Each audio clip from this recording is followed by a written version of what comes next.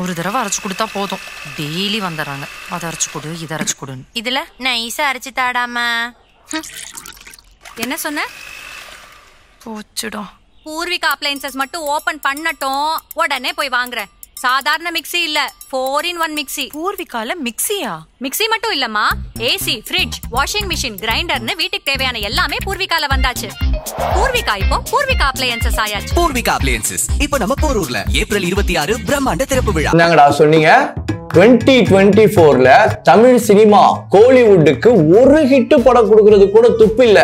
மலையாளம் படம்லாம் இங்க வந்து ஓடிட்டு இருக்கு. உங்களுக்கு கண்டென்ட் இல்ல கற்பனை வறட்சி. அவ்வளவுதான் தமிழ் சினிமாவே காலி அப்படின்னு நான் பேசிட்டு இருந்தீங்க.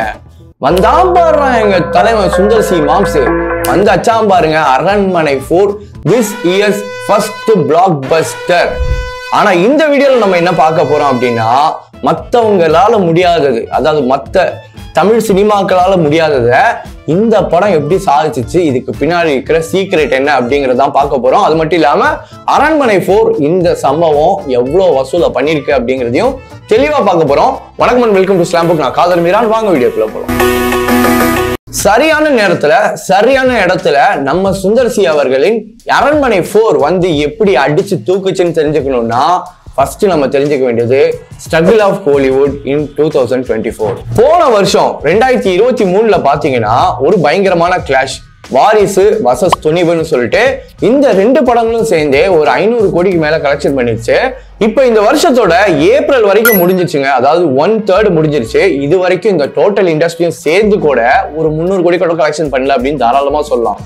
இதுல முக்கியமா கவனிச்சீங்கன்னா பெரிய பெரிய ஸ்டார்ஸ் ரஜினி சார் படம் சிவகார்த்திகேயன் படம் தனுஷோட படம் ஜெயம் ரவி படம் அது இதுன்னு சொல்லிட்டு படம் படமா வந்துச்சே தவிர எல்லாம் ஃபிளாப் ஆகி ஃபிளாப் ஆகி போயிட்டு இருந்துச்சு. ஒரு பயங்கரமான வறட்சி. இதுக்கு முக்கியமான காரணம் என்ன அப்படின்னு பாத்தீங்கன்னா ரஜினி சார் படம் வந்தாலும் அதுல ஹார்ட் டிஸ்கை காணும். கிரிக்கெட்டுக்குள்ள மதத்தை கொண்டு வராங்க அப்படி இப்படி நிறைய பிரச்சனை. கேப்டன் மில்லர் ஒரு பக்கம் வந்து அது வெள்ளக்காரங்க சைடுல இருக்க படம் சமூக நீதி பேசுறாங்க. அயலான்னு ஒரு ஏலியன் படம் எடுத்தா கூட அதுல விவசாயத்தை பத்தி பேசுறாங்க. இவங்க கண்டென்ட் எல்லாமே ரொம்ப லக்சர் அடிக்கிற மாதிரி இருக்குன்னு சொல்லிட்டு மக்கள் கடுப்பாகி அவன் அவன் மஞ்சுமல் பாய்ஸ்க்கும் பிரேமலுக்கும் ஆவேசமுக்கும் தியேட்டர்ல போய் பார்க்க ஆரம்பிச்சாங்க. இதனாலதான் தமிழ் சினிமா வந்து இந்த ஏப்ரல் வரைக்கும் படுத்தே கடந்துச்சு அப்படின்னு சொல்லலாம். இப்பதான் அரண்மனை போரோட என்ட்ரி ஸோ நம்ம சுந்தர் சி அரண்மனை ஃபோர் இந்த படத்தோட என்ட்ரி எந்த அளவுக்கு இம்பாக்டா இருந்துச்சு அப்படின்னு நம்ம புரிஞ்சுக்கணும் அப்படின்னா நம்ம பார்க்க வேண்டிய விஷயம் ரைஸ் ஆஃப் அரண்மனை ஃபோர் அரண்மனை அப்படிங்கிறது சுந்தர் சியோட ஒரு பிரான்ச்சைசி அப்படிங்கிறது நம்ம எல்லாருக்குமே தெரியும். அதுல முக்கியமா முதல் மூணு பார்ட்டை விட இந்த பார்ட்டுக்கு உண்டான எக்ஸ்பெக்டேஷன் ரொம்ப ஹையா தான் இருந்துச்சு. ஏன் அப்படின்னு பாத்தீங்கன்னா இந்த படத்துல வந்து நிறைய வந்து இந்த மோகினி பிசாசு காட்டேரி அப்படி இப்படின்லாம் காமிச்சு போர் அடிச்சு பாக் அப்படிங்கிற ஒரு புது கான்செப்டை இதுக்குள்ள கொண்டு வர போறாரு. அது மட்டும் இல்லாம காவாலயா அப்படிங்கிற பாட்டுலாம் டான்ஸ் ஆடி இன்னைக்கு பீக்ல இருக்கக்கூடிய தமன்னா பிளஸ் ராஷிகண்ணா இவங்களோட அந்த கிளாமர் காம்போ பிளஸ் அந்த காமெடி நம்ம விடிவி கணேஷ் யோகி பாபு இந்த மாதிரி ஆட்களோட அந்த காம்போ இது எல்லாமே கரெக்டான பிளெண்ட்ல ட்ரெய்லர்ல வெளிப்பட்டதுனால இந்த படத்துக்கு உண்டான எக்ஸ்பெக்டேஷன் நேச்சுரலாகவே ஹையாக இருந்துச்சு. இந்த படம் எப்படி ஜெயிச்சிச்சு அப்படின்னு பார்க்கறதுக்கு நம்ம முக்கியமாக பார்க்க போகிறது analysis of Aranmanai four okay இது எல்லாமே கரெக்டான பிளெண்ட்ல இருக்கு. ஆனால் அரண்மனை ஃபோர் எப்படி ஜெயிச்சது? இதுக்கு நம்ம பார்க்க போறது reason for Aranmanai four's success Aranmanai ஃபோரோட சக்சஸா முக்கியமான விஷயமா நான் பாக்குறது என்ன அப்படின்னு பாத்தீங்கன்னா இந்த பிரான்ச்சைஸில இதுக்கு வந்த இதுக்கு முன்னாடி வந்த மூன்று படங்கள்ல எப்பவுமே காமெடி கொஞ்சம் தூக்கலா இருக்கும் இல்லாட்டி கிளாமர் கொஞ்சம் தூக்கலா இருக்கும் ஏதாவது ஒன்று ஆயிடும். இந்த படத்துல படத்தோட சீரியஸ் ஹாரர் அந்த டிராமாவும் கிளாமர் காமெடி இந்த மாதிரி நிறைய விஷயங்கள் கரெக்டான பிளெண்ட்ல இருந்துச்சு. அந்த ஹாரரோட சீரியஸ்னஸ் எங்கேயும் குறையவே இல்லை அப்படிங்கறத முக்கியமான விஷயமா பார்க்குறேன்.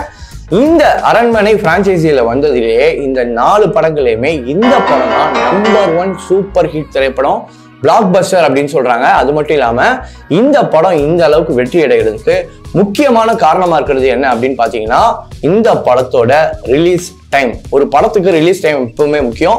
கரெக்டான நேரத்தில் லீவ் டைம்ல ரிலீஸ் பண்ணியிருக்காங்க இந்த மாதிரி படங்களை எப்போவுமே குழந்தைகள் குடும்பங்கள் பெண்மணிகள் தாய்மார்கள் இவங்க போய் கொண்டாடுற ஒரு வெற்றி வெற்றியாக தான் இருக்கும். ஸோ பசங்க எல்லாரும் குழந்தைங்க இந்த படத்தை வந்து பயங்கரமா என்ஜாய் பண்றாங்க. ஸோ ரைட் டைம்க்கு ரிலீஸ் பண்ணியிருக்காங்க அப்படிங்கிறதும் ஒரு முக்கியமான காரணம். இந்த சுந்தர்சி அவர்களின் அரண்மனை ஃபோர் தமிழ் சினிமாவுக்கு கற்றுக் கொடுத்த பாடங்கள் என்ன அப்படின்னு பார்க்கணும்னா lessons from Aranmanai four Tamil cinema Sundar சியோட அரண்மனை ஃபோர் கிட்ட இருந்து என்ன லெசன் கத்துக்கணும் அப்படின்னு பாத்தீங்கன்னா நீங்க என்ன படம் எடுத்தாலும் சரி அது ரொம்ப சீரியஸான படமா இருந்தாலும் சரி காமெடியான படமா இருந்தாலும் சரி இல்ல கிளாமர் இதெல்லாம் கலந்த படமா இருந்தாலும் சரி அந்த படத்தோட என்டர்டைன்மெண்ட் வேல்யூ குறையாம பாத்துக்கணும். நம்ம ஊர்ல தான் ஒரு கிரிக்கெட் படம் எடுத்தா கூட அதுல விவசாயத்தை பத்தி பேசுறது அதுல ஜாதியை பத்தி பேசுறது அதுல மதத்தை பத்தி பேசுறது இப்படி நிறைய விஷயத்த வந்து கொண்டு வந்து திணிக்கிறாங்க. இப்படி இல்லாம எடுத்துக்கிட்ட சப்ஜெக்ட்டுக்கு மக்களை வந்து லாயலா என்டர்டெயின் பண்ணணும். இது ஒரு லெசன் அப்படின்னா முக்கியமா வந்து இப்ப அயலான் வந்து ஒரு ஏலியன் படம். நான் அவங்கள தள்ளி ரிலீஸ் பண்ணலாம் சொல்லலை பட் பர்ஃபெக்டாக அதை வந்து ஒரு ஸ்கூல் ஹாலிடேல அதாவது சம்மர் ஹாலிடேஸில் பிளான் பண்ணியிருந்தாங்கன்னா இதை விட ஒரு பெட்டர் ரிசல்ட் கொடுத்துருக்கோம். அந்த விதத்தில் சுந்தர்சி அதை ஸ்கோர் பண்ணிட்டாரு. இது எல்லாத்துக்கும் வந்து பொதுவாக நம்ம ஒரு படம் எடுக்கிறோம்னா அதுக்கு உண்மையாக இருக்கணும்.